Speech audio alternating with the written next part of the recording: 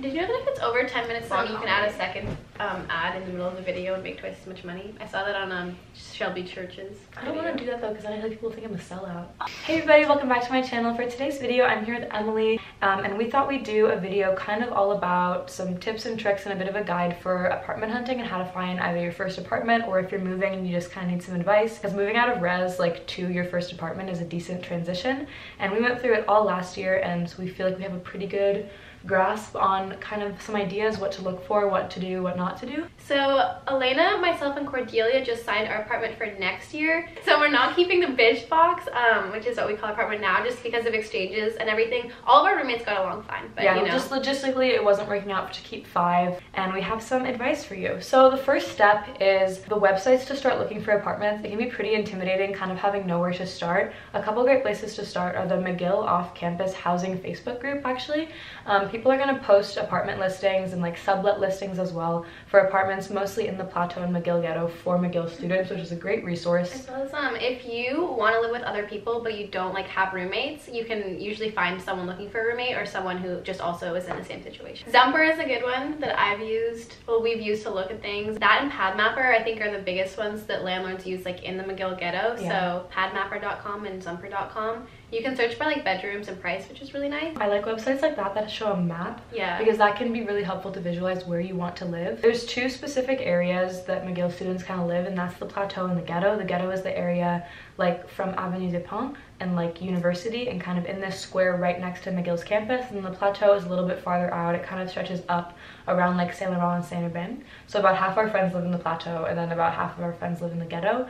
And there's definitely pros and cons to both. Do you want to start with the ghetto? Yeah, so yeah, I love living here. So the really nice thing about being close to campus is that you don't have to walk and you can go home between your classes for lunch. Mm -hmm. Or if you forget your lab coat, which a lot of my friends have done, like I have a friend who like forgot her Just lab coat. girl thing.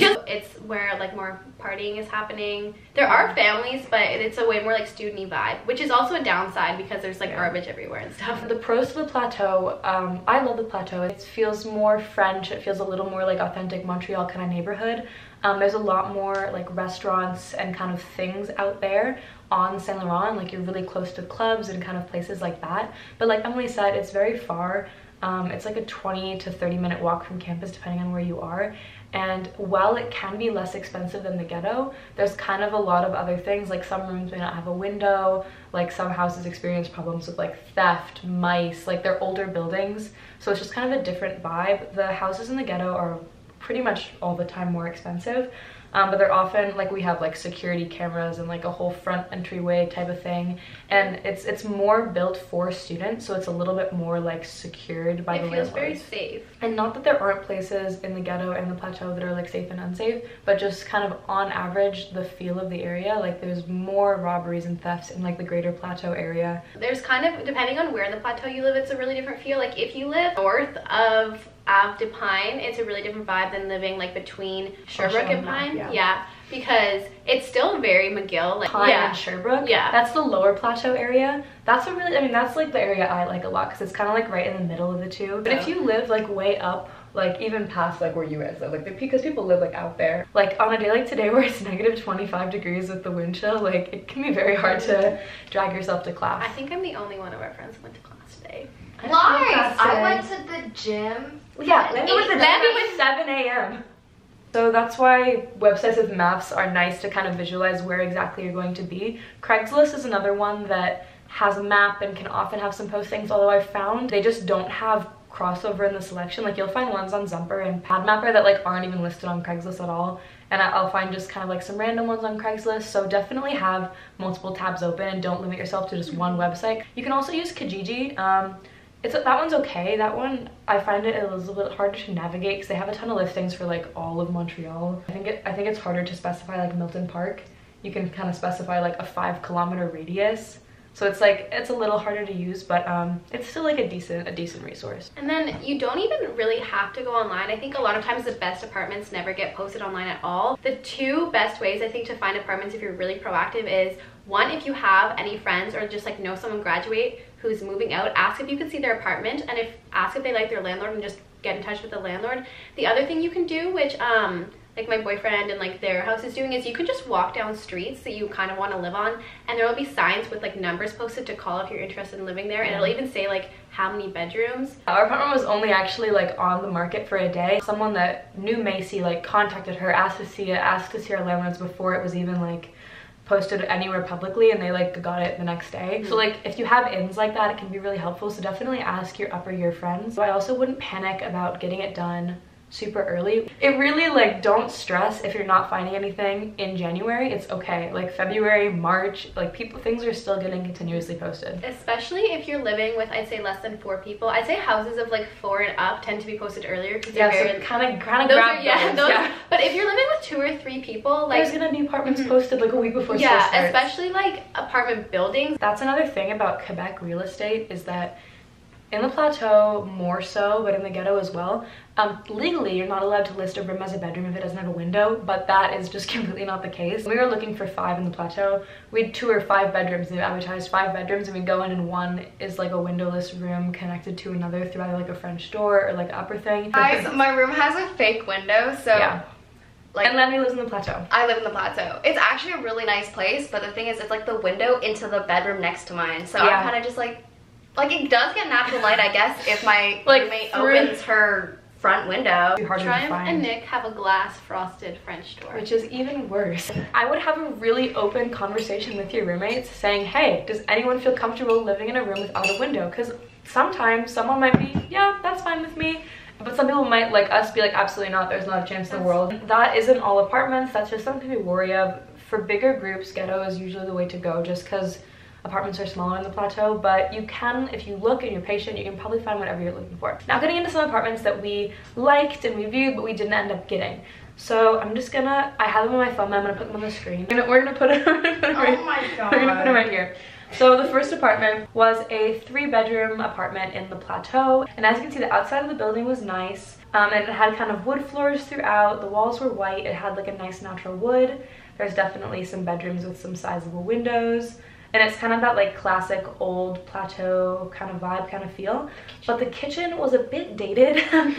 Um, counter space was minimal. It looked a little run down a little small. Bathroom looked good. Bathroom looked fine. There was a little outdoor space which is always kind of nice.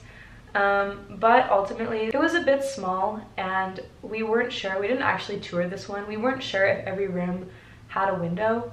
Um, and there wasn't really a nice cohesive living space which is something that we like care about a lot. So we ended up not going with that one. Okay, so next one we saw on Zumper, we didn't even go look at it. It looked pretty nice, but it was furnished and oftentimes apartments like this, they'll show like the same pictures for every unit. Like I noticed like this one had similar pictures on different addresses. Yeah. Um, but it honestly like didn't look that cute. like the um The living space was completely disconnected from any sort of yeah. kitchen. But we had an unfurnished apartment originally, so Alena Cordelia and I all have furniture and all of us really like our furniture and we spend money on it, so we don't want to have to get rid of it after one year. Yeah, so all furnished stuff. all furnished apartments were kind of immediately cut. So this next apartment was actually pretty close to where we are now.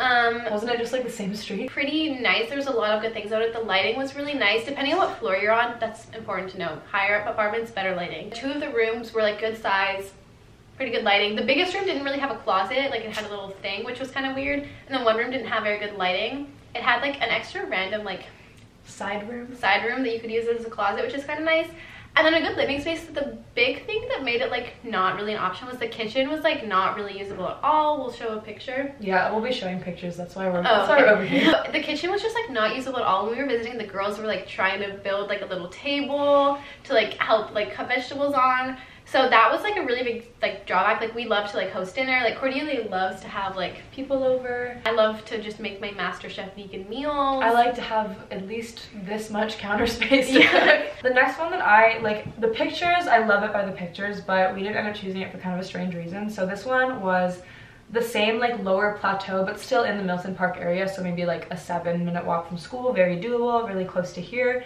and a great price. It had like nice white walls a good amount of natural light every like big windows in the living room every single room had a window except for the catch was that they were remodeling the living room to be the third room, meaning like virtually no living room, like at all, like just kind of like a walk-in vestibule type area, and then a very narrow kitchen with like no table. So there was not any room for like entertaining, a dining room table, like having our friends over for things like Thanksgiving. So that's why this one was like not an option, even though everything else like yeah. kind of ticked all of our boxes. That's another one where like depending on the group you are, like a really there's a couple apartments around that that you save a lot of money if you're willing to get like a four and a half for three people because there's no living room. But for us, that's just not a sacrifice. We like to love being yeah. hosts. We love having people over. So the final one that we like considered is another one in the Milton Park area, and this one was beautiful. It was a great price.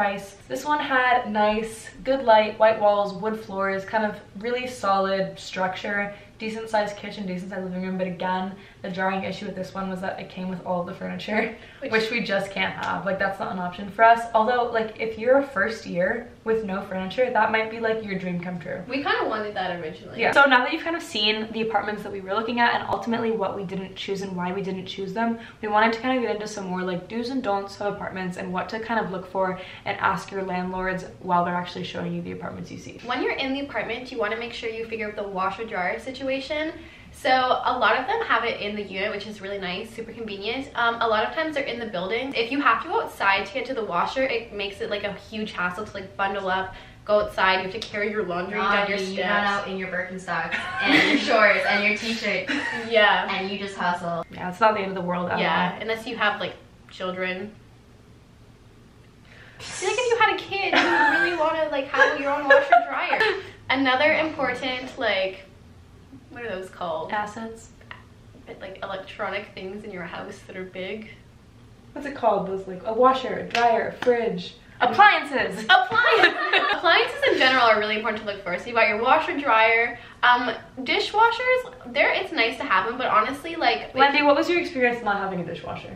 Honestly, you just learn to do your own dishes. Yeah. And it's quick and you don't even realize you're doing them until you're like, ah, yes, my hands are wet. If it's a really small kitchen and no dishwasher, then you're gonna have nowhere to dry it and it's a whole thing. Something really important is when you're looking at apartments, if tenants are there, like just it's awkward, but pull one aside and say, how are your landlords? Because yeah. we've had, like, we did that, and one girl was honestly like, no, don't do it, they're bad.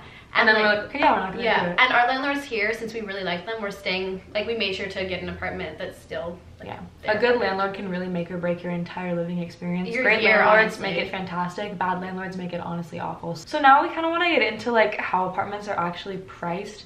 So they're often going to be listed the price for the full thing, and then it's oftentimes up to the roommates kind of divide it how they see fit. So for example, I believe our apartment is listed, I'll give like an example amount. This is not how much our apartment costs, but let's say our apartment is $5,000 as like a nice easy number and there's five roommates. It's not how much it costs. Yeah. There's five roommates. We could each pay $1,000 each, but say Emily like doesn't have any money or whatever, hypothetically. So she needs to pay like 900 someone else could pay like 1100 to like balance it off and kind of offset. Yeah so you, you kind of just like split up the room. So like in our apartment the rooms are not all the same size. Some of them are quieter some of them get more noise. So we we discussed it all together like how much each room would cost and then all came to a consensus about what everyone would have. In the ghetto apartments are kind of anywhere from like I'd say lowest end is like 750 per person to upper end is like 950 a person. Yeah, even a thousand. Yeah, it can be, but like you don't have to have those. And yeah. in the in the plateau, I'd say it's like bumped down maybe 200. Like lowest you could find is like 550. Uppest you could find is like 850, 550 is like that'd be really really, really good. low. Don't don't look for that. And 800 is like a little more expensive for the plateau. So it's a little bit less expensive plateau, a little bit more expensive in the ghetto. Those are the kind of the tips that we had for helping you hopefully look for apartments on your first steps out of res or if you're looking right now. And then we're gonna kind of show you the footage of our apartment and what we liked about it and stuff and kind of see all that. So enjoy. This is our apartment that we picked. So it's a second floor walk up. Um, there's three bedrooms. All of them have a window. Um, it's got exposed brick, which is really nice. And then what we liked about it most was its giant living space. The living space and kitchen room are both really nice, even bigger than our apartment now, which is excellent because we love to like have our friends over and everything. And they were connected, which was a big key. As you can see, like the kitchen goes right into the living room. The bathroom also had a bathtub. Which is really fancy. very luxury for like a very normal price point. And a good amount of bathroom storage, yeah. which is also very key because it was a smaller bathroom. And every room had a closet, and, except for Cordelia's, which had like kind of like a rack thing, which was still good. But all of the rooms were still a decent size. You could easily fit all of your stuff without a problem. So that's kind of why, like it was the open concept living area especially, as well as the fact that every room had a window and every room was like pretty sizable, that we ended up selecting that apartment. And our, it's our same landlords. That's actually probably the biggest pro. We kept our same landlords. Yes. Thanks so much for watching. Have a great day.